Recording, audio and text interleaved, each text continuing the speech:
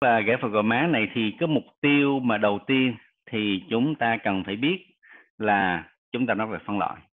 Thì cũng tương tự như trường hợp là gãy xương hàm trên gãy tầng mặt giữa thì chúng ta cũng chỉ trình bày hai phân loại cơ bản thôi. Có rất nhiều phân loại chúng ta chỉ nói là hai phân loại thôi. À, thứ hai là chúng ta cũng phải giải thích được cái cơ chế chấn thương phần gò má.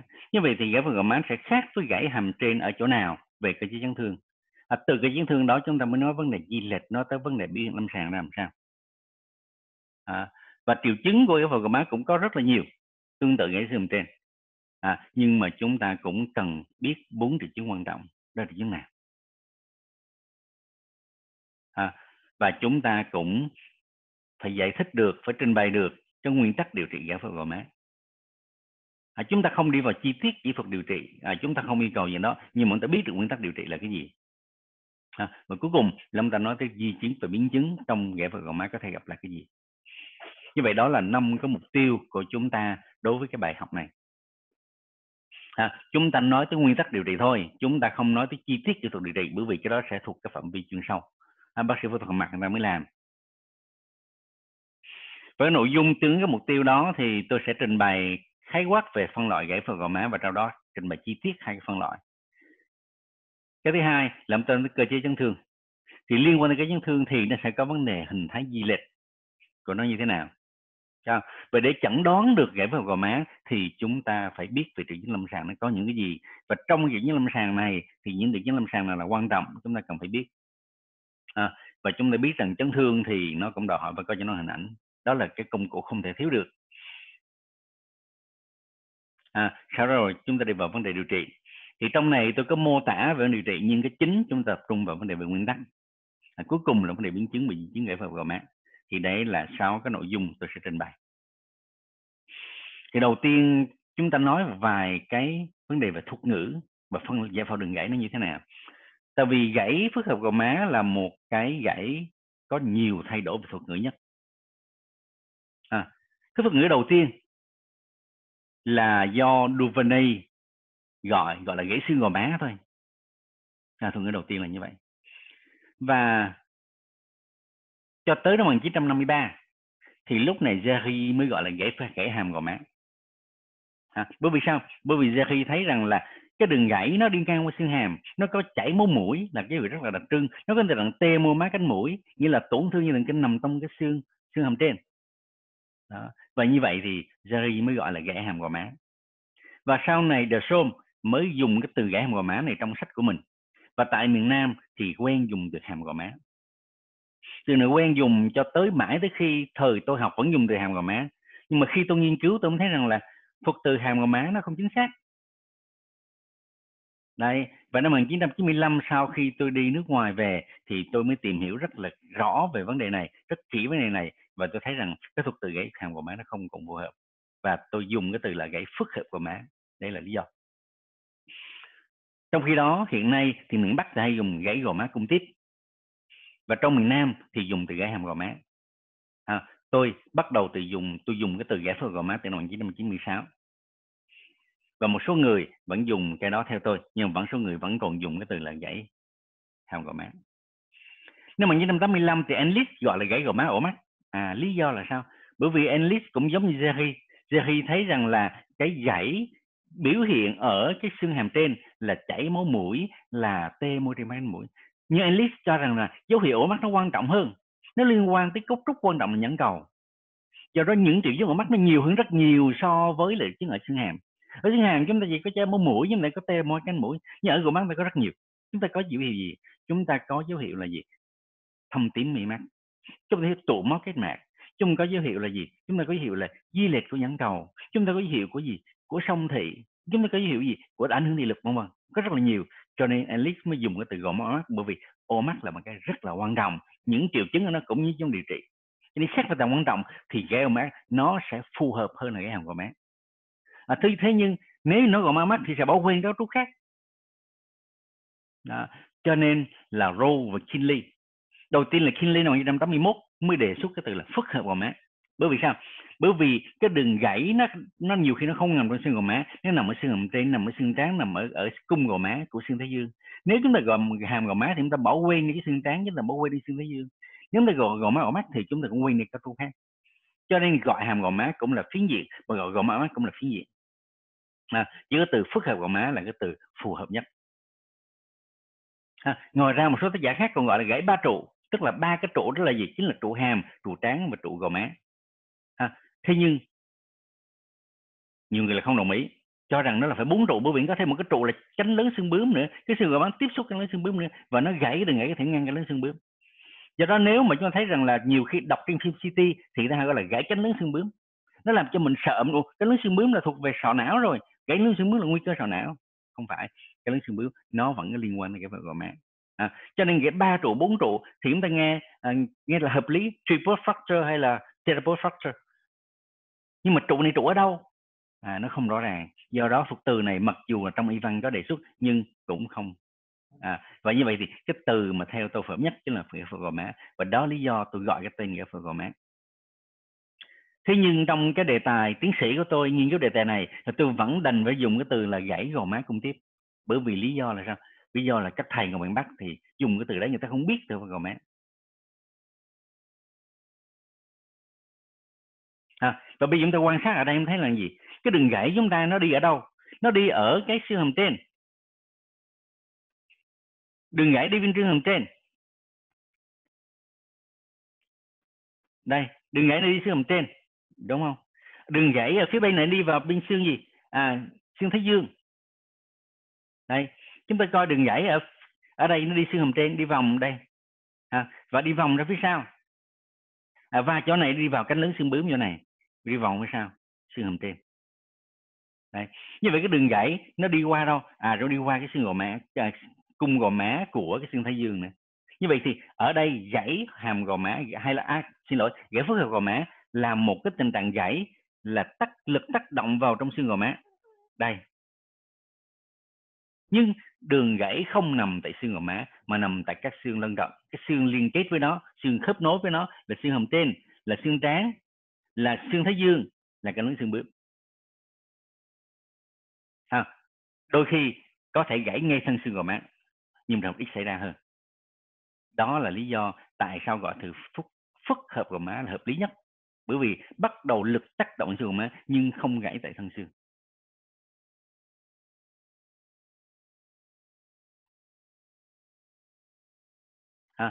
Và như vậy thì về phân loại thì nó có bao nhiêu phân loại? Phân loại đầu tiên là năm 1950 thì phân loại là của Sinrup nhưng phân loại nó ít phổ biến.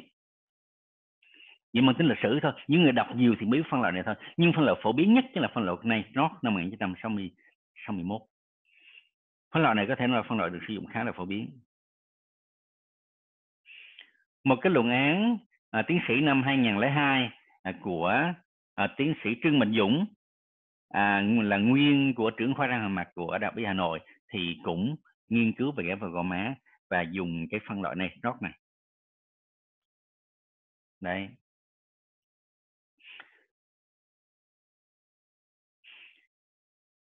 Phân loại thứ ba là phân loại Rokinly phân loại Rokinly thì chi tiết hơn phân loại Nainhot à, nhưng mà người ta vẫn quen dùng phân loại Nainhot hơn so với Kinley và tới năm 1977 thì Yaya à Yanagisawa thì ông này đốt đầu là sử dụng SimCity để phân loại. À, cũng giống như Fuji và Yamashiro cũng dùng phim City để phân loại. Như vậy thì bắt đầu từ thời điểm này thì sử dụng cái phim CT để phân loại nó đúng không? Tới năm 1992 thì magazine lại đưa một cái phân loại chi tiết về cái vấn đề giải phổi gò má rồi à Ozi Zagan năm 2007 cũng đưa ra cái phân loại giải gò má và tập trung vào cái vùng cung gò má phân loại của tôi bắt đầu từ năm 94 và tới năm 2009 mới hoàn, hoàn chỉnh. Thế thì sự khác biệt phân loại tôi với các tác phân loại khác là chỗ nào? Cái thứ nhất là phân loại tôi dựa vào cơ chế. Và cái phim đầu tiên tôi dùng chính là cái phim hiện so với lại nay nó là dùng trên cái phim Water. chúng tôi biết rằng cái phim hiệt là phim chụp cái chiều thế từ đỉnh đầu tới cầm hay là ngược lại, từ cầm tới đỉnh đầu, tức là chiếu trên cái mặt ngang trong khi đó, cái cái phim water là chụp bề mặt thẳng, nó tạo một góc chết mà chúng ta biết rằng là cái lực tác động gây gãy xương má là lực ngang. Do đó cái di lệch của nó trên mặt phẳng ngang cũng dễ thấy hơn đánh giá được rõ hơn. À, lý do đó tôi dùng phim hiệp.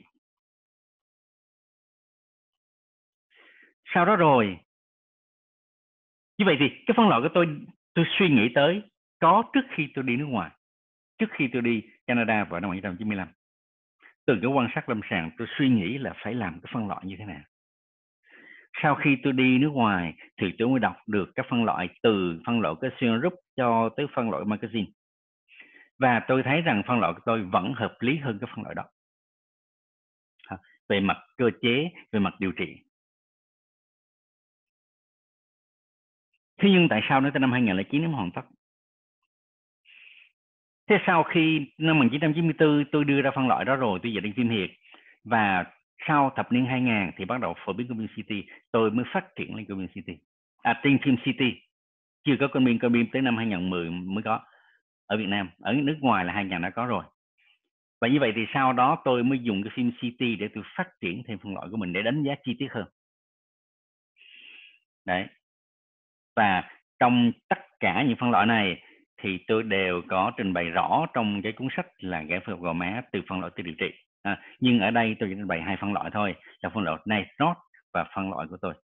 À, tôi trình bày hai phân loại là nice là phân loại sử dụng khác phổ biến hai phân loại của tôi.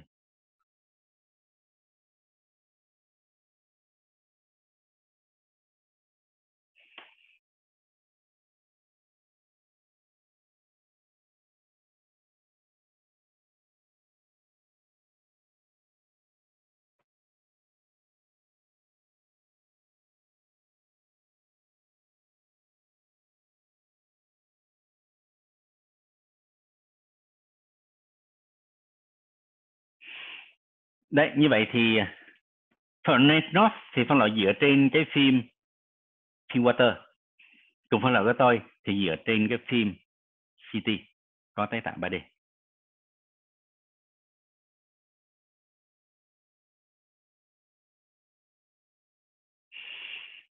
khi phân loại Nice North nó gồm gồm có 6 nhóm.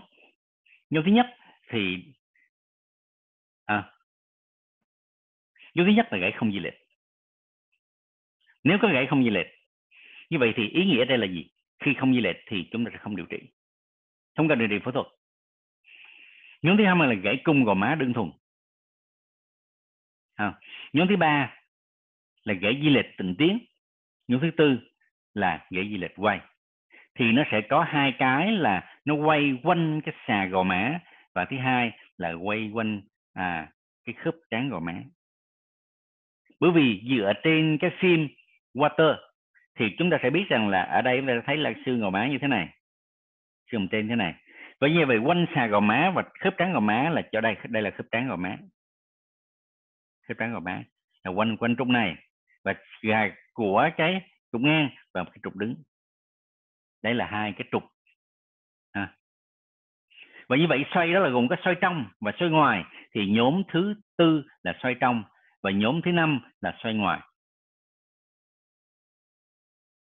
Đấy. À và nhóm thứ sáu là gì? Nhóm thứ sáu là gãy có đường phụ qua thân xương gò má. Thế nhưng ở đây chúng ta sẽ không biết được sẽ điều trị như thế nào. Nồi gãy cung gò má đơn thuần thôi, nó có rất nhiều thể khác nhau. Nó có thể gãy kiểu nhắc rìu, nó có thể gãy kiểu cửa bậc. Nhắc rìu là sao? Gãy hình chữ V. À tôi sẽ vẽ, tôi sẽ vẽ cái hình nhắc rìu như thế này. Nhất rìu là gãy như thế này, hình chữ V thế này. Đường gãy nằm ở đây. Như vậy có ba đường gãy đường gãy thứ nhất, đường gãy thứ hai và đường gãy thứ ba nằm ở đây. Nhưng mà đôi khi nó lại gãy như thế này. À thì điều trị sẽ khác. Hoặc là hoặc là nó gãy như thế này. Kiểu này. À điều trị nó sẽ khác. Như vậy thì gãy cung gò má đơn thuần nó cho phép chúng ta chẩn đoán định đúng thôi. Nhưng về mặt về mặt điều trị thì chúng ta cũng sẽ không có có điều trị được. Hay là những cái gãy khác. À, và như vậy phân loại này nó không đưa ra được cái diện cụ thể. À. đối với loại một thì không bị lệch chúng ta không nói. Nhưng gãy loại hai là là gì? Là gãy là cung gò má đơn thuần. Và như vậy thì trên cái phim gãy cung ngựa máy đơn thuần thì trên phim hiệt sẽ thấy rõ hơn nhiều so với phim phim water. Phim water không thấy đường gãy đây nó làm sao? Nó không có rõ. Ở chúng ta quan sát đây tôi phóng lớn này lên một tí. À, đường gãy nằm ở đây. Đây. Chúng thấy cái đường gãy nó gián đoạn ở đây so với cái này nó bình thường. Rõ ràng rằng là những người chuyên nghiệp thì cũng đánh giá được cái đường gãy trên cái phim water này. Chứ không thì cũng khó đánh giá gãy xương gò má lắm à, thì đây là nhóm thứ hai. Nhóm thứ ba là gì? Nhóm thứ ba là à, nhóm thứ ba là ông thấy là gãy di lệch tình tiết. Cái nghĩa lực tác động từ ngoài đi từ bên và từ ngoài tác động vào trong cái gì? Vào trong xương gò má. Nó làm cho tình tiến và đi vào bên trong. Thực sự ra đánh giá tình tiến này rất là khó. À, chúng ta quan sát chỗ này chúng thấy nó gián đoạn ở đây và nó đi đi vào trong. Cái gián đoạn chỗ này. Ha, và gián đoạn của xương gò má chỗ này. Thì đây là cái gãy di lệch tịnh tiến. Như vậy là nhóm thứ nhất không di lệch, nhóm thứ hai là gì? Là gãy cung gò má đơn thuần. Nhóm thứ ba là gãy di lệch tịnh tiến. Như vậy trong nhóm thứ hai Nestot chỉ đưa ra một cái hình ảnh cụ thể thôi, nhưng thực sự nó có nhiều cái loại khác nhau. Nghĩa thứ ba là di lệch tịnh tiến. Nhóm thứ tư là à chúng ta có nhóm quay quanh xa gò má đúng không? Như vậy thì ở đây em thấy là gì? Nó đi vào bên trong đường gãy nó đi vào đây đường gãy nằm ở đây và lực tác động từ chỗ này nó làm xoay trong nó xoay vào bên trong. À, chúng ta quan sát đường gãy ở đây đường gãy đây. À, đây là xương gò má đây đường gãy chỗ này. Thì đấy là tình trạng gãy gì là xoay trong rồi chúng ta có xoay trong quanh cái gì nữa? Quanh cái khớp nối. Đúng không? Là ngay chỗ này phía trên này. Ngay chỗ này, tức là ở đây chúng ta thấy nó gián đoạn đây. Tức là nó đi vào bên trong, mà một cái là vào phía trước máy cao vào phía phía trên. Thì đấy là cái nhóm là gãy xoay trong, mà quanh khớp trán gò má, là quanh khớp trán gò má là ở chỗ này. Ha. rồi nhóm thứ năm là gãy gì? Xoay ngoài à xe ngoài mà quanh xà gò má là em thấy cái này nó bật ra ngoài. À có thấy nó nhô lên như thế này bật ra ngoài. Có nghĩa là gì? Cái lực tác động ở phía sau nó làm cho xoay ngược ra xoay ngược ra ngoài. Cái thể này thì hiếm gặp lắm. Thể này thì chúng ta sờ cái bộ mắt trong thể xương nó gồ lên. À, mà thực tế chúng ta thấy không gồ nhiều như cái mô hình. À trên xương này em thấy cứ gồ nên gồ nhẹ thôi không bao giờ gồ nhiều lên như mô hình được hết. Đó là xoay ngoài quanh sờ gò má rồi thứ hai là gãy xoay ngoài mà quanh gì? À xoay ngoài chỗ này nó nó nó gồ ra ngoài. Nhóm thứ năm này nhóm rất ít gặp. À, nhóm rất ít gặp. À, nhóm thứ sáu là đường gãy qua thân xương. À nó có đường gãy qua thân xương ở đây. Đường gãy ngang qua thân xương ở đây. Như vậy thì cái phân loại Nesnot là nó có 6 loại và nó cũng tương đối đơn giản và nó không đem lại cho chúng ta một lợi ích về vấn đề đánh giá về cơ chế chấn thương cũng giống như đánh giá cách điều trị như thế nào. Thì đây là nhóm thứ sáu phân loại Nesnot thế phân loại của tôi thì có đặc điểm gì? À, thứ nhất tôi coi vào mức độ gãy tức là căn cứ vào cường độ có thể không di lệch di lệch hay là gãy vụn. Như vậy tùy cái cường độ của nó là thấp hay là cao mà nó dẫn tới mức độ gãy khác nhau. À.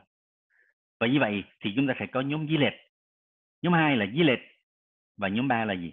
Là gãy vụn như vậy về mức độ gãy tôi sẽ có ba loại. Thứ hai, về cái gì? Về cái hướng lực tác động. Như vậy là khi nó gãy xương thì một lực tác động vào hướng khác nhau, nó sẽ di lệch theo kiểu khác nhau. Và như vậy thì chúng ta sẽ có hướng theo chiều trước sau. Chúng ta đập thẳng vào mặt xuống và nó vừa xương trên vừa xương gò má luôn, hoặc là vào vùng gò má nhưng mà theo hướng trước sau. Hoặc là theo nào? Hướng phân giác. Hướng đập chéo từ bên, hay là thứ ba là theo hướng ngang như vậy thì với mỗi hướng, chúng ta sẽ có một cái thể gãy khác nhau. Và chúng ta sẽ kết hợp các đó lại thì chúng ta sẽ có gì? À chúng ta sẽ có cái hướng A là hướng từ trước ra sau. Hướng B là hướng gì? Hướng phân giác, hướng C là hướng này. Như vậy chúng ta sẽ có bao nhiêu loại? Loại số 1 không di lệch thì chúng ta không có phân biệt được hướng nào cho chúng ta sẽ không có một A một B một C gì cả. Nhưng nếu mà loại số 2 chúng ta sẽ có là 2A 2B 2C và loại 3 thì chúng ta sẽ có gì? Bởi vì nó gãy vụn rồi cho nên chúng ta cũng không cần phải ABC nữa. À, như vậy cái chính là nó liên quan vào nhóm 2 ABC rồi cái tiêu chí thứ ba để tôi đánh giá là hình thái di lệch là quay hay là tình tiến? Ha. Di lệch tình tiến tôi gọi là số 1 di lệch quay gọi là số 2 như vậy tôi có ba cái tham số. Tham số thứ nhất là tham số gì? Tham số mức độ là một hai ba, đúng không? Thì ở đây một không di lệch cho nên chúng ta sẽ không nói tới hình thái được. Thứ hai là chúng ta nói về cái hướng tác động thì chúng ta sẽ có abc và cái thứ ba, chúng ta đo hình thái di lệch là ví dụ chúng ta sẽ có di lệch quay tình tiết. Ví dụ 2 a 1 hay là 2 a 2 đúng không? Và ngoài ra, nó còn có các biến thể di lệch. À như vậy chúng ta có là ví dụ A1 chúng ta một A hay là A1 chúng ta có A1 B? À. đây cái thứ tư, tiêu chí thứ tư là tôi coi cái thương tổn sợ mắt có hay không. Nếu có cần thì phẫu thuật à tôi gọi là S S đây là surgery là phẫu thuật. Đúng không? Ví dụ như nó có di lệch nhãn cầu. À, ví dụ có song thị. À, thì đó là những trường hợp mà chúng ta cần can thiệp sàn mắt. Có hay là không? Có thì tôi thêm cái thêm cái gì thêm S vào nữa. Như vậy thì tôi nhìn một cái phân loại tôi nhìn cái mã xong rồi tôi biết tôi sẽ làm cái gì. Thì đấy là cái vấn đề mà liên quan đúng không? Và đây là hình ảnh lâm sàng. Hình ảnh trên phim. Hình ảnh trên phim này thì tôi nhờ họa sĩ vẽ ha? Dựa trên cái gì? Tôi lấy tất cả cái phim CT các hình thái giải và sau đó tôi nhờ họa sĩ là à, vẽ lại để ra hình dạng đó. Như vậy thì đối nhóm 1 thì chúng ta không tính về tính nhóm 2 là chính đúng không? Nhóm 2 thì chúng ta có 2A là di lệch theo chiều trước sau. Mà chúng ta có 2A1 là về từng tiến như vậy là hai là gãy có di lệch. A là theo trước sau một chính là từng tiến đúng không? thế thì nó sẽ có hai cái biến thể. Biến thể thứ nhất là gì? Biến thể thứ nhất là chúng ta thấy là khi lực tác động từ trước ra sau nó đều như nhau hết. Nhưng mà có cái thì nó sẽ dẫn đến tình trạng là gồ cung gò má. Mà có cái nó không có gồ. Hai cái nó khác nhau rồi đó. À, và như vậy thì chúng ta có hai thể. Một là thể gồ cung tiếp hay gồ cung gò má. À, thứ hai là thể chồng ngắn. Đây. À, lát nữa vào cơ chế chúng ta sẽ nói là tại sao là như thế. À, nhưng mà thôi đây chúng ta có thể nói sơ luôn. Cái lực tác động vào đây thì nó sẽ làm gì? Nó có thể là chuyển qua đây. Khi nó chuyển qua đây nếu lực nó chuyển qua đột ngột nó làm gãy luôn thì lúc đó thoát lực hết nó gãy chồng nhắn lại. Nhưng mà nếu cái lực này thoát không hết nó còn lại nó tạo ra cái lực bật. Và lúc đó nó sẽ gãy ngay cái chỗ chân cung gò má này chân cung tiếp này. Đấy. như vậy là gãy di lệch tình tiến phía sau nó sẽ có hai biến thể là thể gồ cung tiếp và thể chồng ngắn à, lực tác động vào đây đúng không? Dẫn tới cái gì? Di chuyển qua đúng không? Và bật cái chân cung gò má chỗ đấy chúng ta quan sát hình này để chúng ta thấy rõ hơn. Đấy. còn trường hợp này thì sao? Lực tác động đây và nó gây thoát trực tiếp hết. Lực còn lại chỗ này bình thường, cho nên không có cái gãy của cái chân của gò má thế thì cái điều trị này cũng sẽ khác nhau luôn.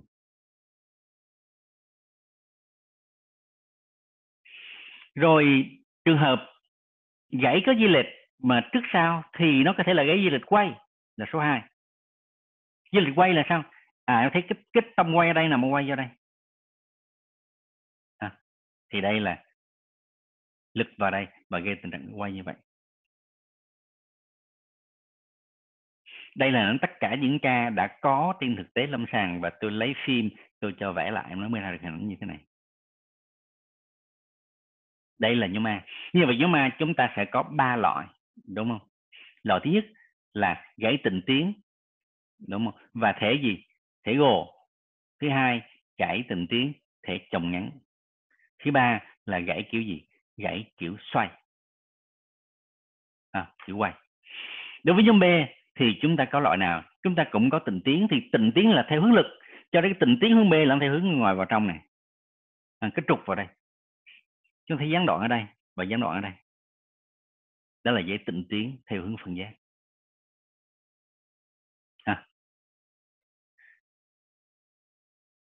Rồi chúng ta có di lịch quay. Như vậy thì tịnh tiến đối với nhóm B nó có một tịnh tiến nhóm A nó có tới hai cái. Thì di lịch quay nó chính là B2 B2 thì quay theo kiểu nào? À, chúng ta lại có những cái thể phụ của nó. À, thể phụ thứ nhất là gì? À thể nhắc rìu. Nó quay theo kiểu nhắc rìu. Có nghĩa là nó sẽ gãy ở chỗ này. Như vậy sẽ có một đường gãy hai đường gãy. Nhưng nó cũng có thể gì?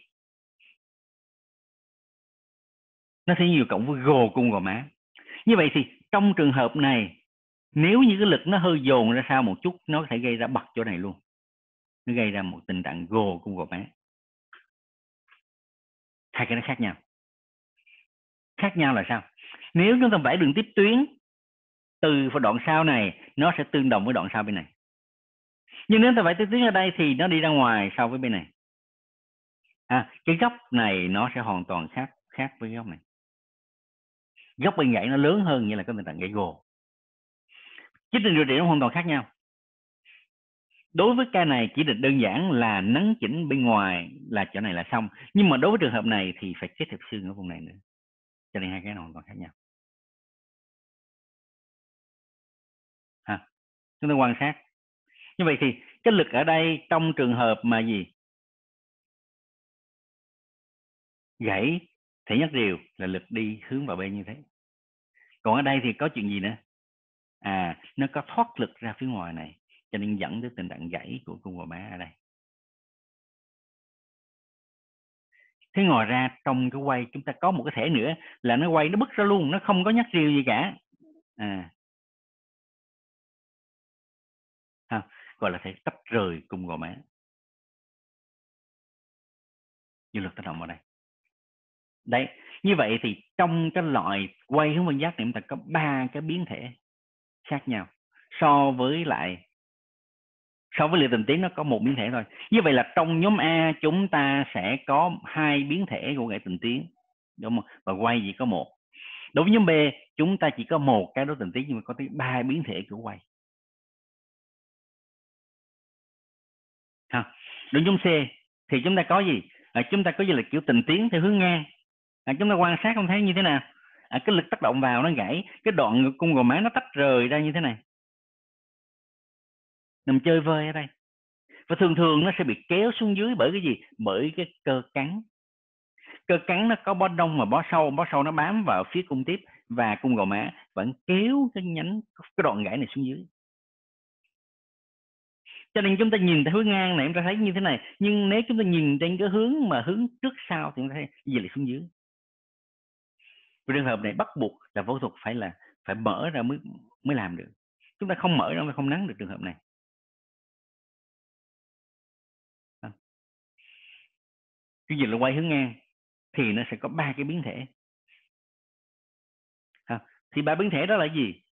Tôi thể cửa bật cái cửa nó mở vào. Bật cái bật phía trước hay bật phía sau? À, cũng đều là cửa bật hết cho nên hai cái này tôi vẫn xếp vào một cái thôi. À, lực phía trước hay là phía sau một tí?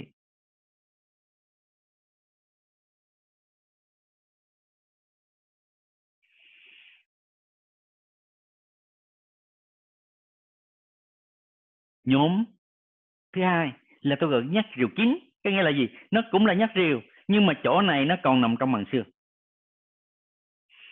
Và thể này chúng ta thể à, nắng chín được. Nhưng mà chúng ta sẽ có thể nhắc rìu gì? Nhắc rìu tách rời nghĩa là nó đã đứt cái màng xương luôn ra ngoài rồi chỗ này chúng ta không nắng lại nó không gài được.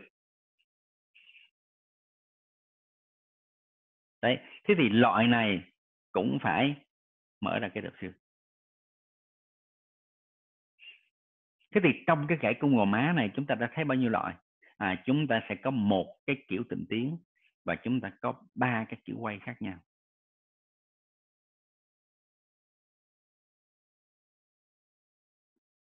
À, đây là hướng lực tác động.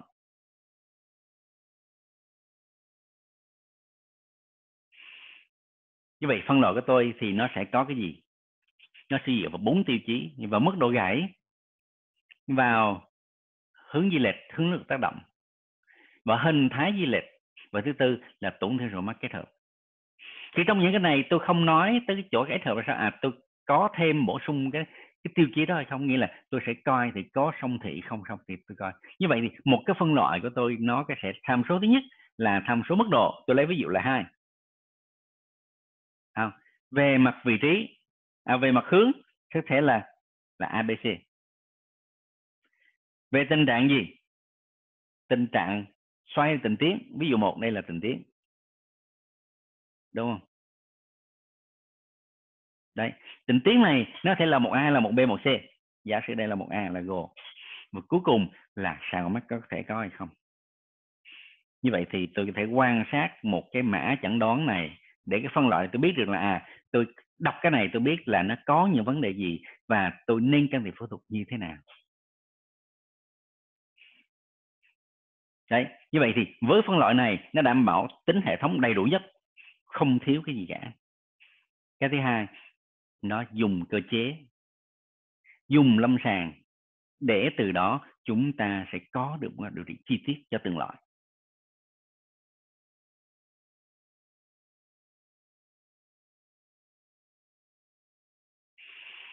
Thế thì về mặt triệu chứng học nó có những triệu chứng gì?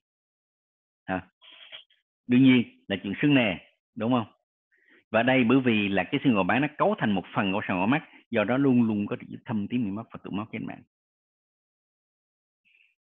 Không? và khi nó có di lệch thì nó sẽ có tình trạng biến dạng. Biến dạng của gò má hay là cung gò má? Không? biến dạng dạng gì? Dạng lép hay là dạng gồ? Ha đó.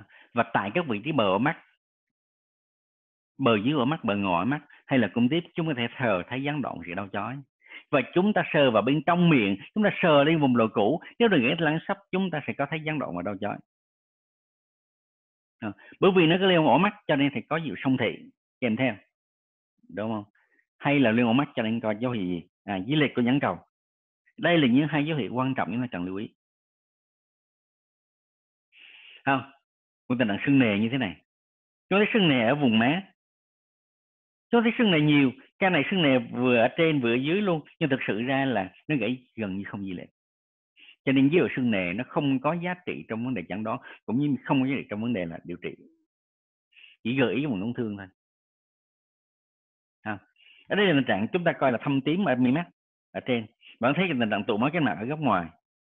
À, cái việc gãy gò má thì thông thường sẽ tụ máu ở góc ngoài và phía dưới. Góc trong nó bình thường. Rồi tình trạng biến dạng. Đây tình trạng biến dạng lép của cái gò má nó bị lép vào bên trong. Thì nhìn cái kiểu này thì nó có thể gãy theo kiểu gì? Có thể gãy theo kiểu nhóm 2 hai gì? Có thể hai a của gì? Của quay ha. Thì hai đó hai a hai. Hoặc có thể là gãy tình tiến theo kiểu nhóm b là hai à, b 1 về phương diện lâm sàng thì cái này nó thể thuộc hai nhóm hoặc là a a 2 hoặc là b 1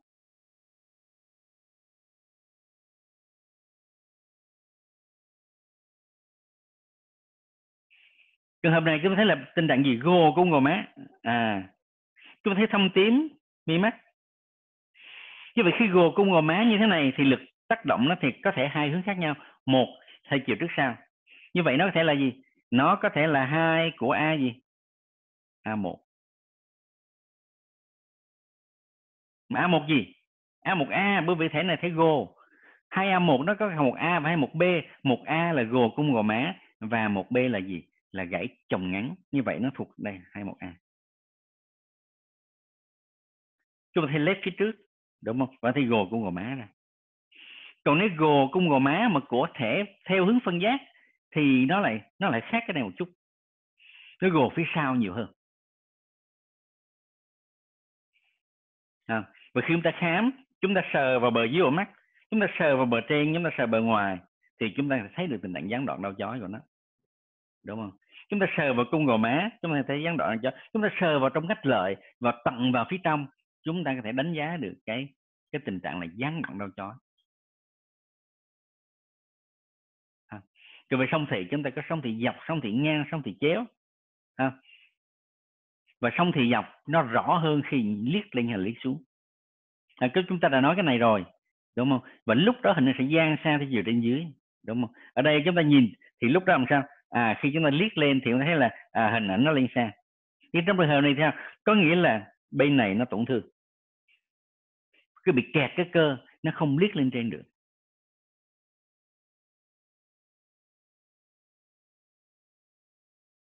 À, như vậy thì trong trường hợp này nó là do kẹt cái cơ thẳng dưới.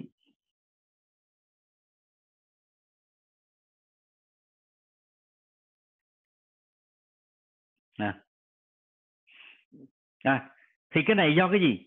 Cái cơ nó bị kẹt vào trong đường gãy nằm vô đây và lúc đó mắt không thể gì? Không thể liếc lên trên được. Trường hợp này ban đầu thấy không lỗ mắt bởi vì có sự sưng nề của tổ chức quanh nhãn cầu nó bù trừ nhưng mà sau thời gian lúc đó nó mới mới ra cái dấu hiệu lỗ mắt. À, và lúc đó chúng ta phải dùng một cái nghiệm pháp là cưỡng bức cơ tức là đây là chúng ta gọi là vận nhãn cưỡng bức à, phần nhận bước. Chúng ta dùng cái kẹp không máu. Dĩ nhiên cái này chúng ta làm lúc khi mổ à, chứ khi bình thường không làm được.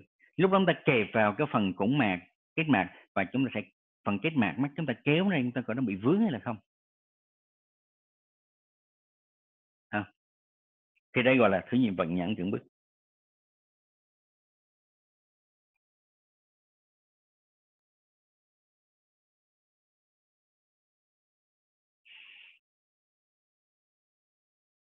thâm thị nhập cũng có thể do gì? Khi nhìn xuống. Đúng không? Chúng ta thấy là hình ảnh gian xa như thế này. Thì nguyên nhân là cái gì? À ở bên này nó liếc xuống được bình thường. Và bên này nó không xuống được bình thường. Thì cái này là do gì? Do liệt cái cơ thẳng dưới. À, như vậy khi vừa liệt vừa kẹt thì liếc lên không được liếc xuống cũng không được. Nếu là liệt cơ thẳng dưới thì nó không thuộc phạm vi can thiệp của bác sĩ răng răng hàm mặt chúng ta mà nó phải thuộc nhiều khoa mắt người ta giải quyết đó.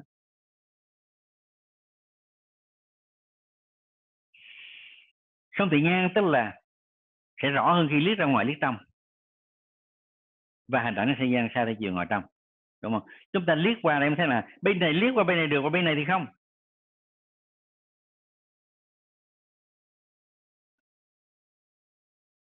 À, hoặc ngược lại khi bệnh nhân viết vào bên trong. À, hình ảnh nó sẽ gian xa như thế. Thành ra hai hình. Tôi lấy ví dụ như đây là à khi chúng ta cho bảo liếc qua liếc lại chúng ta quan sát nhãn cầu cho thấy làm sao? À. Chúng ta quan sát cái độ lộ của mạc. À, như vậy đây là một cái thao tác khám tình trạng song thị mà chúng ta không nên bỏ sót khi đánh giá trường hợp gãy phức hợp gò má à, rồi tình trạng di liệt nhãn cầu à lõm mắt. À, chúng ta nói trong bài triệu chứng rồi bây giờ chúng ta quay lại cụ thể hơn. Tình trạng lõm mắt. Chúng ta thấy là gì? Chúng ta thấy khe mi nó hẹp lại so với bên này. Chúng ta thấy là gì? Chúng ta thấy chỗ này nó sâu hơn so với bên này. Cái ca này thì sau thời gian chấn thương bệnh nhân tái khám mới phát hiện được ban đầu không thấy. Bệnh nhân này là tôi chụp cũng là gần 30 năm rồi. À, thời đó nó chưa có phim CT Thế từ những cái ca này tôi bắt đầu tôi suy nghĩ tới cái chuyện à đi tìm quy luật của nó là cái gì? Đấy và tôi mất 3 năm trời để tôi tìm ra được quy luật. Mà lần trước tôi nói quy luật của di liệt nhãn cầu thì tôi đã nói trong phần tiệp chứng học. À, bệnh nhân này là di lệch nhãn cầu mức độ là lõm mắt nhiều hơn. Và có tình trạng di lệch theo kiểu gì? Mắt xét kiểu mông cổ. À, kiểu ngựa mông cổ là anti mongoloid eye. Bởi vì sao? À, chỗ này toàn một sàn mắt nó di lệch xuống dưới toàn bộ sàn dưới lưới. Nó giãn rộng cái chỗ này ra đúng không? Và dây chằng treo mi mắt ngoài nó bị kéo xuống. Là nó dẫn tới tình trạng là mắt như thế.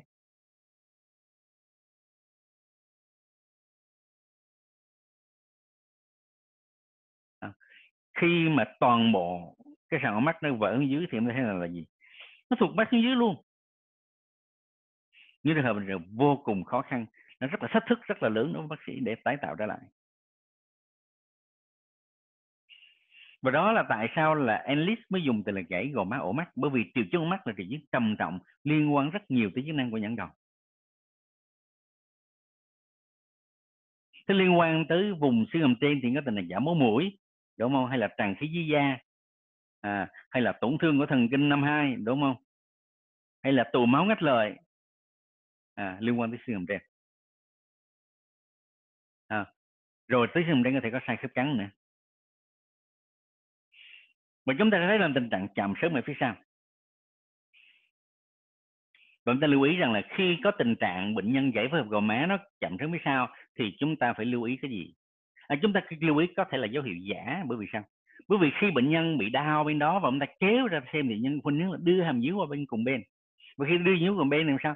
À, nó sẽ chạm có thể chạm sớm bên đó vẫn hở bên kia. À.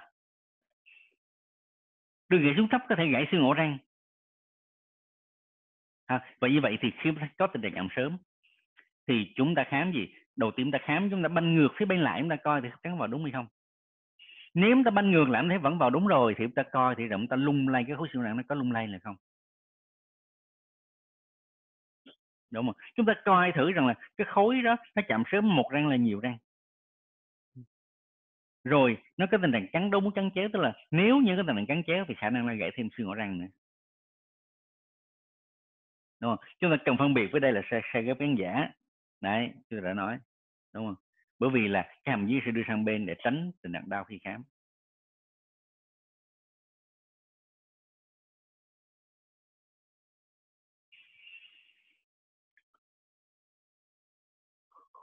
Trên phim, thì chúng ta cái phim ước thì hai cái phim là phim water và phim hiệp, đúng không? Và phim city. Thì trên phim water thì chúng ta sẽ thấy được cái gì? À chúng ta có hai phim này phim water chúng ta thấy được rất là nhiều thứ đúng không? Chúng ta thấy được à, cái thân xương gò má của bệnh nhân chúng ta thấy được là cái mỏng tráng vân vân. Thì cái này tôi cũng đã nói bên cái bài chẩn đoán hình ảnh. À. À, và như vậy chỗ này tôi sẽ nói nhanh. Chúng ta sẽ coi trên đường ổ mắt. Chúng ta coi thử cái tình trạng giãn rộng cái vùng nối gò má hay không. Chúng ta có di lệch xương ngực vân vân chúng ta coi cái liệt thân xương hay không? Chúng ta coi thử đường vô danh nó có bị mất hay là không đây đường vô danh nằm chỗ này. Đường vô danh là đường này chính là đường của cái cái lớn xương bướm. Đây chúng ta có đường cản quan thành ngõ mắt không nó gãy nó chồng lên có thể cản quan chúng ta coi thử bờ dưới mắt có di lệch hay không. Chúng ta coi thử sàn ngõ mắt. Thực sự ra trên này rất là khó nếu nhà sàn ngõ mắt cũng giống như đánh giá thoát vị. Hai cái này chỉ sẽ đánh giá được thực tế trên phim CT mà thôi. À, còn trên phim này thì phim cực rõ thì mới có thể thấy được.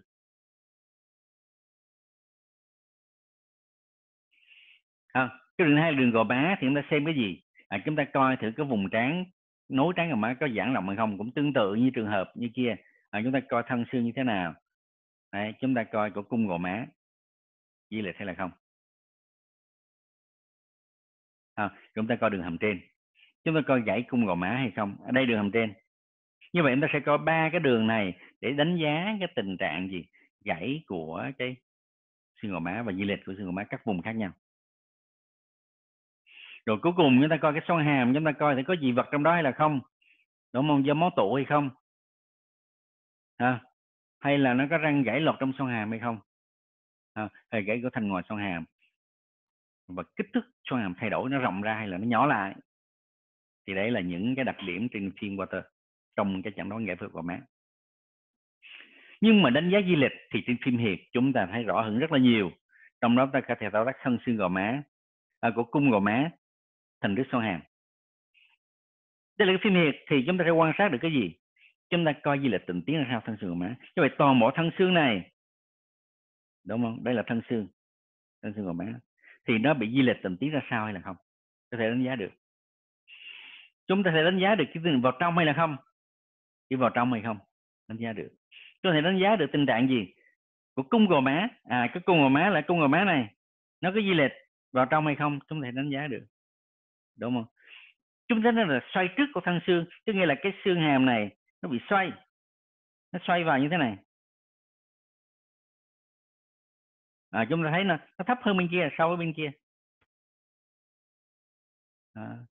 chúng ta nhận xoay sao cái nghĩa là xoay của hướng này vào nó gãy vào xoay theo hướng này. Đấy hay là mình thấy kiểu nhắc rìu của cung gò má cho thấy kiểu nhắc rìu thế này. À tôi nhắc rìu bên này đại khái là như thế. Vâng vâng hay là xoay trước của cung gò má như vậy thì đối với phim hiệt chúng ta đánh giá được rất là nhiều tình trạng xoay trước, xoay sau của thân xương, của cung gò má. Tất cả những này là chúng ta có, hoặc là tình trạng gãy bật của cung gò má luôn. Có nghĩa là cái chân cung gò má này nó gãy bật ra ngoài. Đây là cung gò má đây, đúng không? Và gãy bật cái chân này ra, nó bật ra ngoài luôn bật ra ngoài như thế này. Chúng ta thấy được một cái cái góc chỗ này.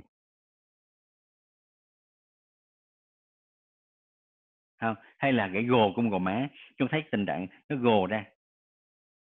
Ở chúng thấy tình trạng là ví dụ ở bên này, cái cung gò má nó sẽ làm sao? Nó sẽ gãy gồ ra ngoài thế này, gồ ra.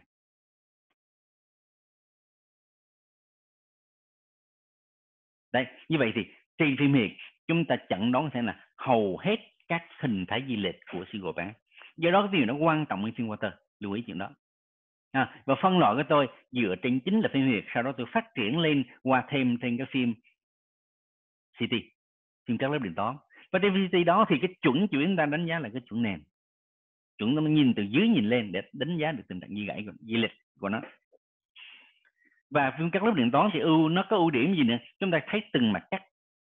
Mà cắt ngang có vùng ổ mắt là vùng thân xương gò má đúng không? Rồi mà cắt đứng ngang từ trụ trước tới trụ sau rồi chúng ta sẽ có cái mặt cắt đứng dọc theo trục nhãn cầu như vậy chúng ta sẽ có ba cái mặt cắt. À, mặt cắt này là mặt cắt coronal. À, mặt cắt này là mặt cắt frontal. Mặt cắt này là mặt cắt sagittal để chúng ta đánh giá được tất cả các tình trạng di lệch của các cấu trúc. Ngoài ra chúng ta khảo sát được vấn đề về phần mềm nữa. À, đó mà các ngang vùng ở mắt chúng ta đánh giá được cái gì? Chúng ta đánh giá được được thành ngoài và thành trong ổ mắt chúng ta đánh giá được tình trạng nhấn cầu hai bên. Tình trạng lồi tình trạng lõm của nó có hay là không? Đúng không? Tụ máu và nhấn cầu à, nếu có chúng ta đánh giá được. Lưu ý chúng ta phải dùng cái gì? Chúng ta phải dùng cửa sổ mô mềm.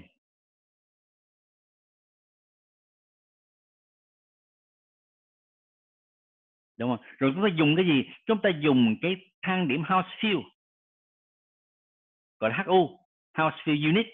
Để chúng ta coi thử có cái vùng đó thì đặc điểm của house field của máu tụ nó sẽ khác với lại của mô mềm như thế nào.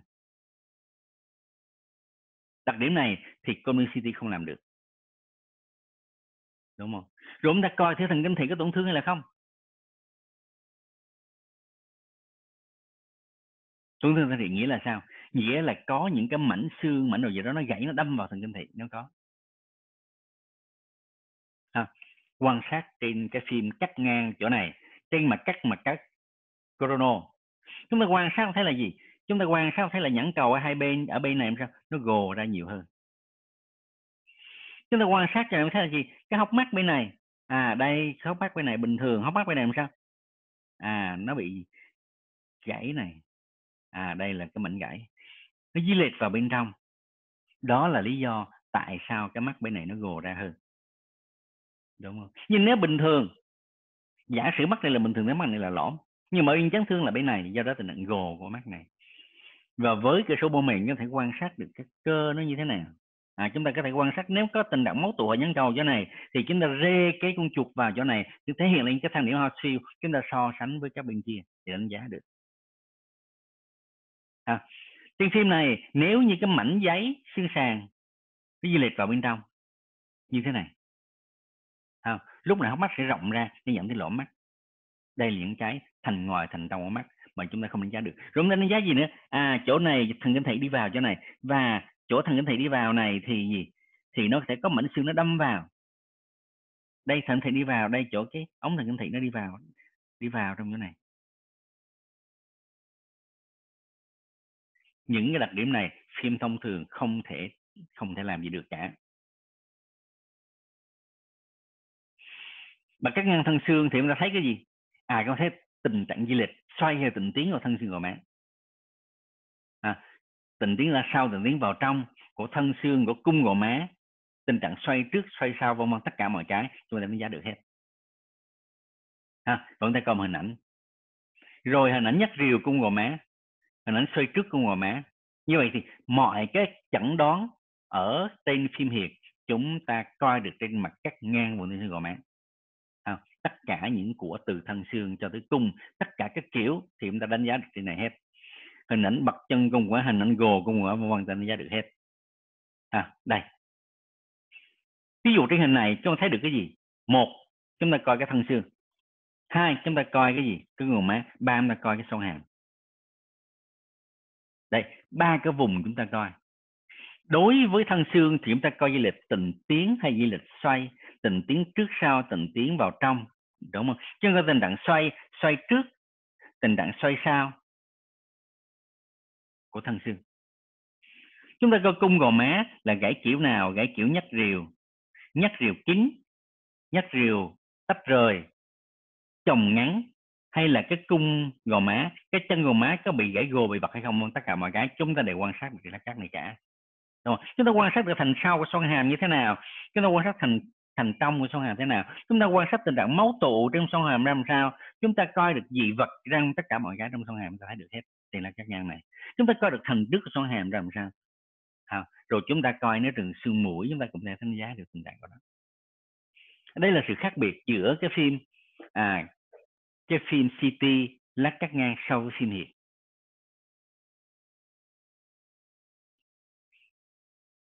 Đấy, hình ảnh cắt ngang là quan trọng như thế đúng không? Nó quan sát như hình ảnh đó. mà cái đứng ngang cho ta đánh giá cái gì? À chúng ta cũng coi được thằng ngoài thằng trong đúng không? Chúng ta coi cái thức không mắt hai bên à, chúng ta coi di lệch của sàn ổ mắt như thế nào trên mặt cắt này đúng không? Tôi coi thoát vị số hàng hay là không đúng không? Rồi di lệch của thằng ngoài có hay là không? À, rồi tình trạng máu tụ xoang hàm như vậy là cái này cũng đánh giá cũng tương tự như trường hợp là trên mặt cắt ngang chúng ta đánh giá được. À, nhưng mà ở một góc nhìn khác nhau. Thế nhưng cái khác biệt của nó là gì? Là hai cái này. Hai cái quan trọng của mặt cắt đứng ngang là di lệch của sàn mắt và thoát vị của xoang hàm à. đây chúng ta quan sát chúng ta thấy là thể tích hốc mắt hai bên nó sẽ có sự khác biệt với nhau. Đúng không? Thể tích xoang hàm hai bên có sự khác biệt với nhau. Đúng không? Đấy. rồi tình trạng sàn ổ mắt. Tình trạng thoát vị xuống xoang hàm đúng không? Tình trạng của cái thành ngoài. À của thành ngoài. Mà cắt ngang mà cắt đứng ngang. Như vậy thì nó cũng rất là có giá trị. Mà các phim thường quy chúng ta không thấy được đặc biệt là vấn đề thương tổn sàn mắt ở hai bên chúng ta so sánh.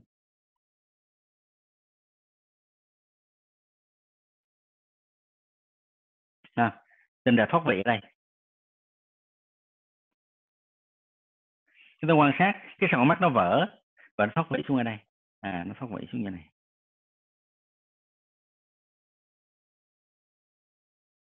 Rồi cái đứng dọc mặt cắt này thì ít dùng liên quan sọ mắt thì chúng ta sẽ dùng thêm.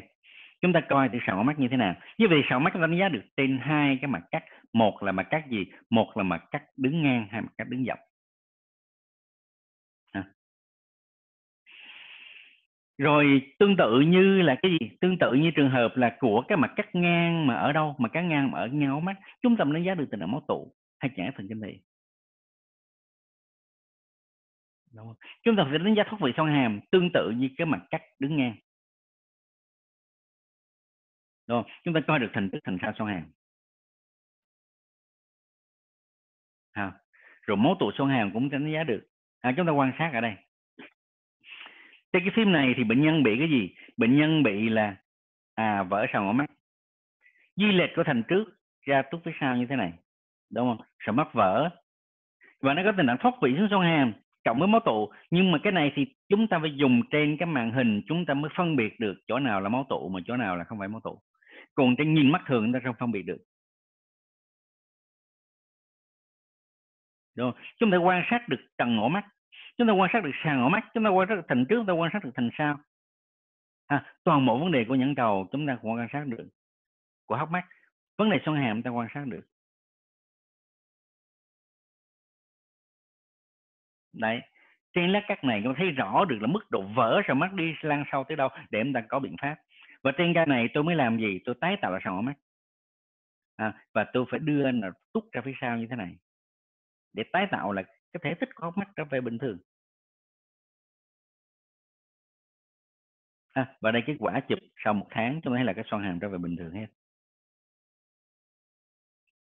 Như vậy thì ba cái mặt cắt không? Mặt cắt ngang mặt cắt đứng ngang mặt cắt đứng dọc. Vì lưới bằng cách nó dọc đây là mặt cắt nó dọc theo trục. Nghĩa là gì? Nghĩa là cái nhãn cầu nó như thế này, cái trục nhãn cầu thế này, thì chúng ta lấy lát cắt này ừ, mặt cắt chỗ mắt cắt trục là thế, sai tôi như thế này. Chứ không phải ngang theo chiều trong không gian từ trước ra sao. Sai tô theo trục. Chúng ta phân biệt lại sai tô tự nhiên, ba chiều không gian, phải có theo trục. Đây, thì hai cái này khác nhau như thế nào? Hai khác nhau là gì? Ví dụ đây là một phản sai tô bình thường theo chiều trước sau. Đây là mặt ngang trước sau. Nhưng sau theo trục là gì? Tôi lấy ví dụ cái nhãn cầu. Hốc mắt ở đây thì sai theo trục là cái trục này là sai theo trục. À, hoặc là ví dụ tôi lấy cái khớp thái dương hàm. Đây là nó nằm như thế này. À cái trục đó nó đi thế này. Thì sai tôi theo trục là lúc đó nó cắt nó như thế này là sai tôi theo trục. Còn sai tôi thường quy là sai tôi theo hướng này. Hai cái đó khác nhau rồi đó.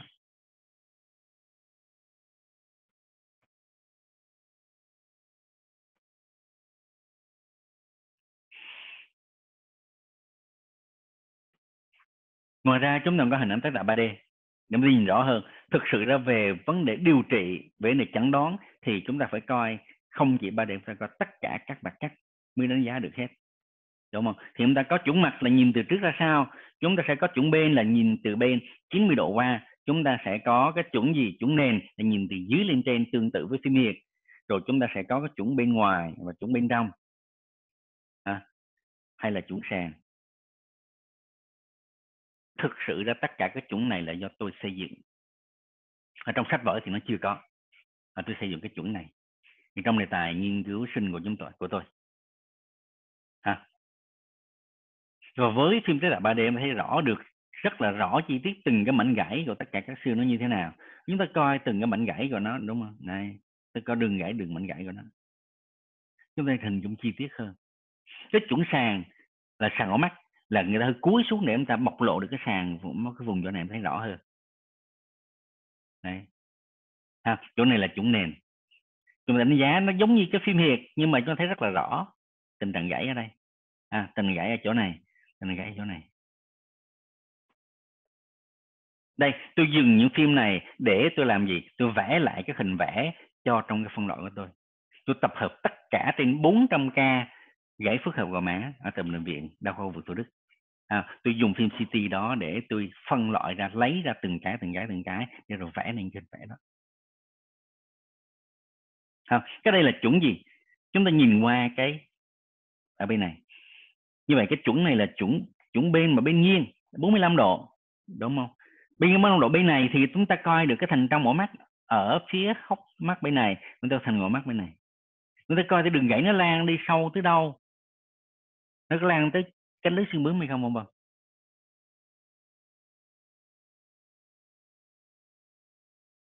đây như vậy thì dựa trên lâm sàng dựa trên nhận nó hình ảnh để chúng ta làm gì? Chúng ta chặn nó này cái vào gò má. À, trong đó chúng ta coi thử triệu chứng lâm sàng nó như thế nào triệu chứng lâm sàng nó có những gì. Đúng không? Rồi chúng ta coi thử triệu chứng nào là quan trọng trong chẩn đoán triệu chứng nào là quan trọng trong điều trị triệu chứng nào là quan trọng trong tiên lượng.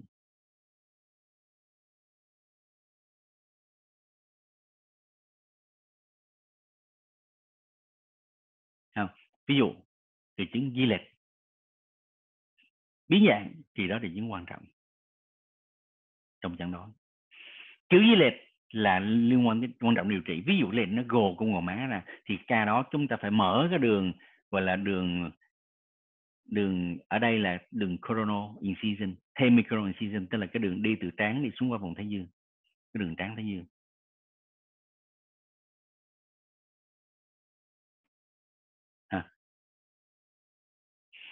Rồi chúng ta dùng cho nó hình ảnh để chúng ta coi hình thái di lệch bây giờ không gian như thế nào?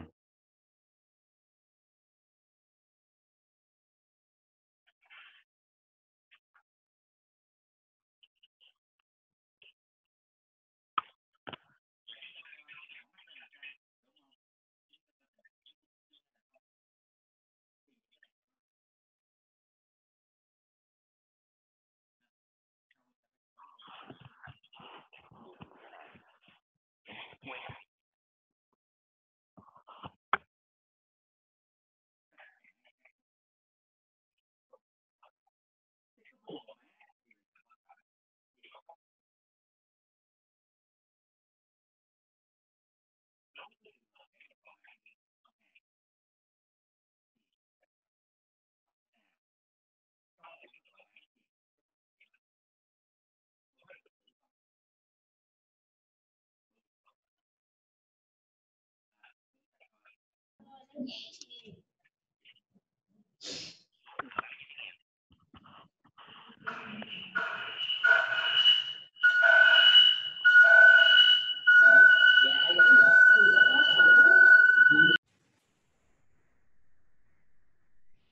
Rồi, chúng ta sẽ lựa chọn pháp cố định xương là cố định bằng cách nào?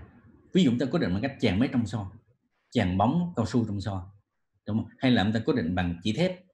Bằng cái được xin chỉ thép hay cái sự bằng nẹp vít à. rồi trong trường hợp mà chúng ta không có cố định thì vấn đề lưu ý là phải bảo vệ xương gãy sau phẫu thuật như thế nào. Ví dụ ta nắng lên ta, ta gãy vẫn ổn thì chúng ta không cần cố định. Nhưng mà lúc đó chúng ta phải lưu ý vấn đề bảo vệ xương gãy.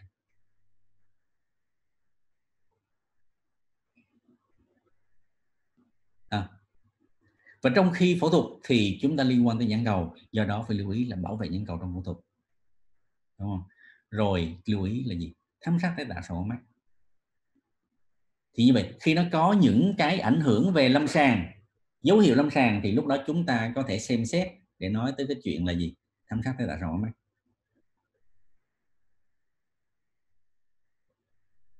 bây giờ nghe chưa? Mọi người có nghe không?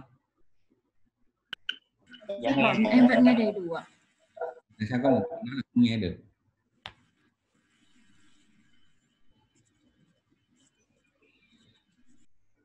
Hồi nãy có một đoạn bị uh, tắt tiếng rồi ừ. rồi.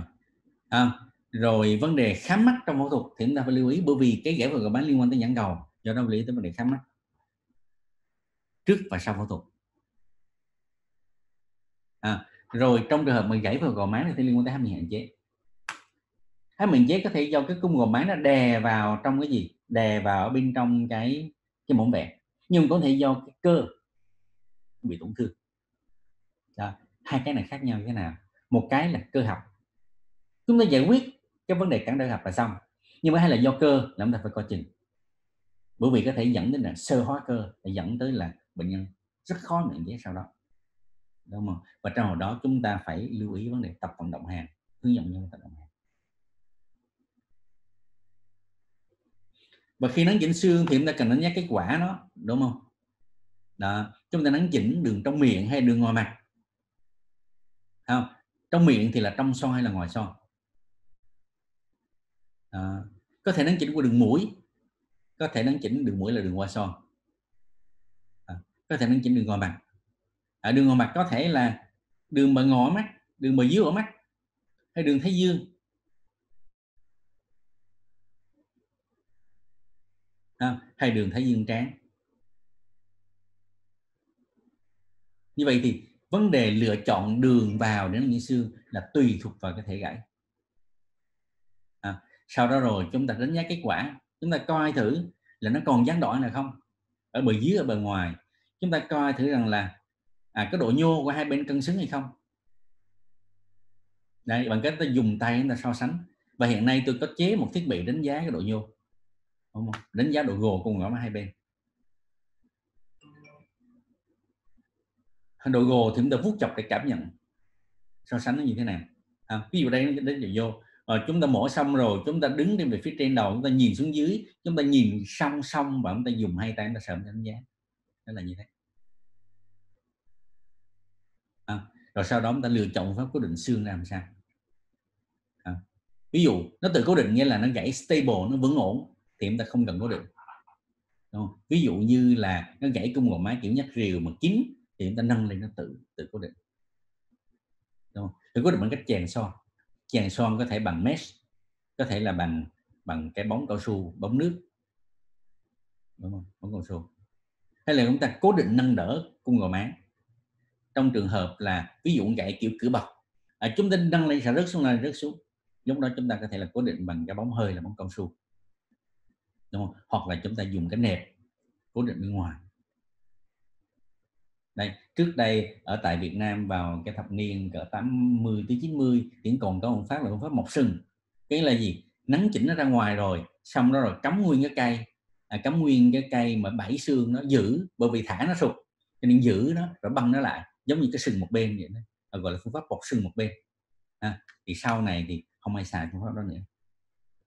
À, cái bóng à, đây là cái sông foley và chúng ta sẽ bơm thử lên và chúng ta bơm nước vào để chúng ta cố định nó lại. Và chúng ta lưu ý là chúng ta sẽ cắt cái đoạn này.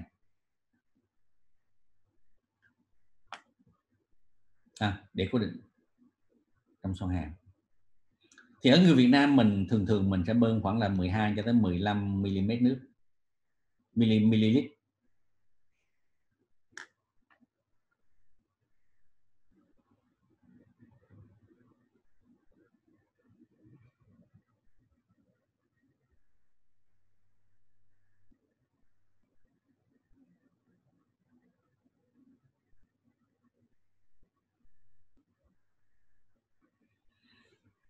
à, có người dùng cái ống ống nghiệm này và sau đó bơm cái bơm cái hơi vào đây để chèn nó vào để cố định.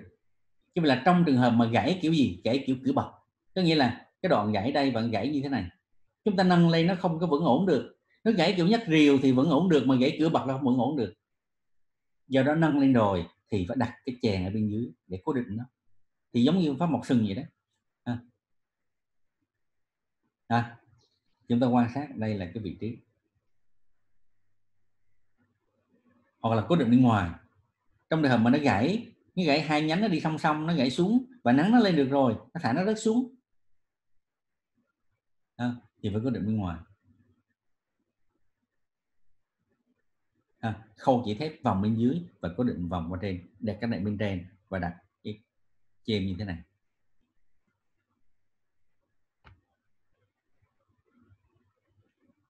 Có tác giả còn dùng cái nẹp, cái đề lưỡi để khâu xuyên nó qua để giữ thì thực sự ra những cách này bây giờ thì không ai còn xài nữa hết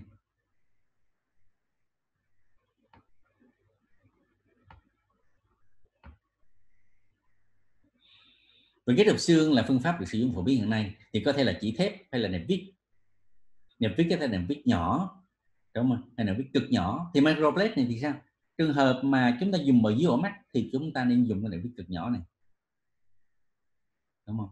Và đôi khi à nó có suy snare Linh snare là sao? À, mọi người nếu mà bên chấn thương chỉnh hình ta hay dùng cái này. Linh snare đó thì nó như thế này tức là nó có nhiều kích cỡ khác nhau. Từ nhỏ cho tới lớn. À. trong chuyên khoa răng mặt mình thì dùng cỡ này thôi cỡ này trở lại thôi. Còn cỡ này là cỡ bên chứng minh chỉnh hình người ta xài. À, cỡ này là cỡ người ta xài? Cỡ bên của mình thì xài cái loại nhỏ hơn. Cho nên cái snare ta làm sao? À tôi lấy ví dụ nó gãy cái thân xương gò má đây mà chỗ này nó cũng vỡ vụn rồi chúng ta không ghép được xương được. Đúng không? Chỗ này nó vỡ vụn không ghép xương được. À, chúng ta không thể là là là chèn cái bóng trong son để quyết định được. À, thì lúc đó chúng ta có thể xuyên cái đường snare từ bên xương gò má này xuyên qua bên xương gò má này. Đấy khoan xuyên từ bên này qua luôn. Kỹ thuật này thì tôi mới làm có một ca thôi mà cũng chưa có ai làm ở tại Việt Nam. Tôi không biết sau này như thế nào. Nhưng mà sau này thì đa số người ta dùng à, nhưng mà tôi có làm một ca như thế này. Thì đấy là nói về vấn đề cố định xương còn đây cứ xương mình này viết đúng không? Này viết ở đây ví dụ vậy. À, không này viết.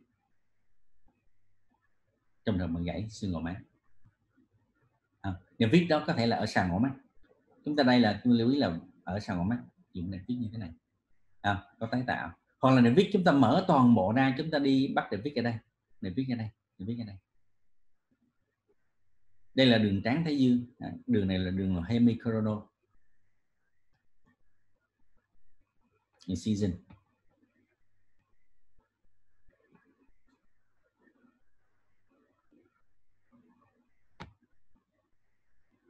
à, sau đó rồi chúng ta phải bảo vệ xương gãy. Đúng không? nếu được tự cố định đúng không? Thì chúng ta yêu cầu bệnh nhân không nằm nghiêng phía bên gãy xương. Đúng không? Trộn thì cái dán mới dán bảo vệ vào vùng gò má rồi phải bảo vệ nhãn cầu trong phẫu thuật. Đúng không? Để tránh những chấn thương giác mạc ngoài mong muốn của chúng ta. Đấy thì có một cái tấm gọi là tấm tấm bảo vệ giác mạc gọi là corneal shield. Hoặc là có thể chúng ta khâu cò mí mắt.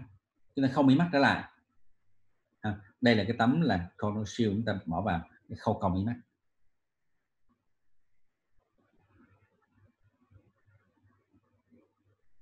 À, rồi thám sát can thiệp sọ mắt là sao? À trong trường hợp vỡ sọ mắt chuyện lớn đúng không? Hay là có thoát vị sau hàm hay là kẹt cơ thẳng dưới. À, chúng thử nghiệm phần nhân những bước nó dương tính.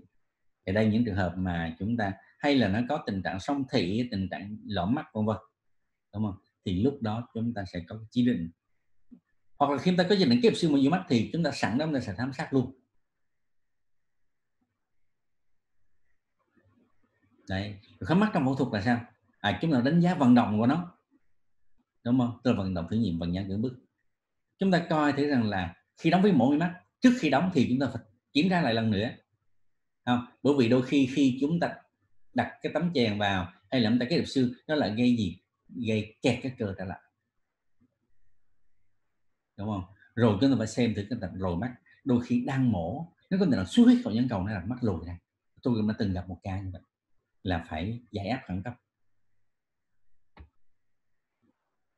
Đúng không? Và chúng ta sờ vào mắt hai bên chúng ta cảm nhận được áp lực hai bên nó khác nhau như thế nào. Đúng không? Và đặc biệt là chúng ta coi chừng tình trạng vào mắt nhanh như tôi nói lúc nãy là có một trường hợp tôi gặp. À, thì cái này là tại sao tầng lưới bởi vì nó liên quan tới tụ máu hoặc nhãn cầu mà phải giải áp khẩn cấp.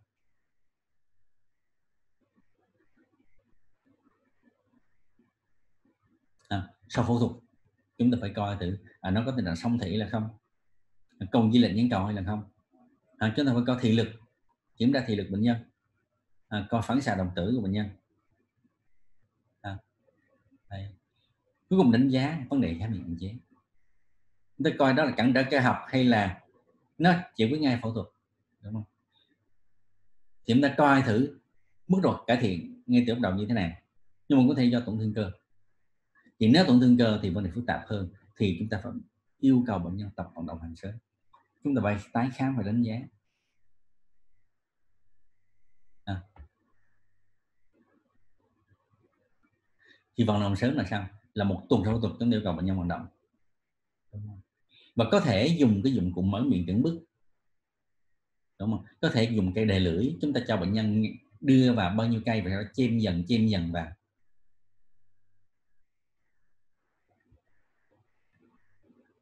à rồi thì à, điều trị trên cơ sở phân loại của tôi như thế nào? Thì à, tôi sẽ nói trong lần sau. À, và chúng ta sẽ kết thúc ngày hôm nay ở đây. Rồi chúng ta sẽ gặp lại trong lần sau. Nếu các bạn có thắc mắc gì thì có thể hỏi.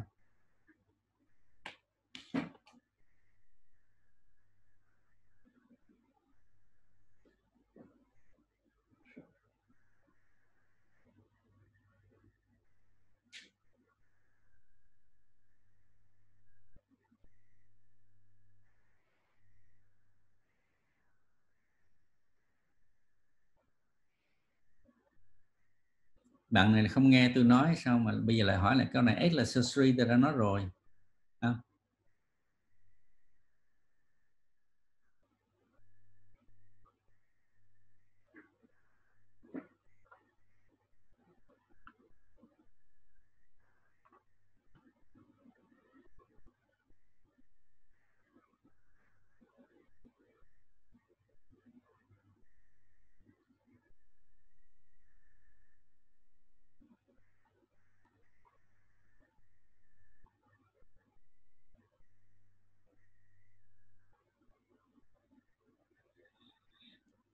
À, nếu không có cái câu hỏi nữa thì chúng ta nghỉ ra đây ha.